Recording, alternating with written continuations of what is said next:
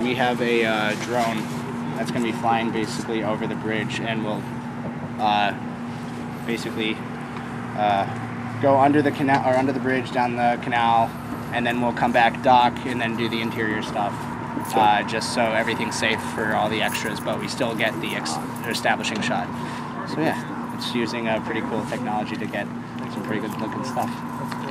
And the fact that it's a timepiece and it says it's the 1920s, it just, I think it's uh, not only exciting but very ambitious, and these guys are really making it possible. So it's just like, hats off to Alexander.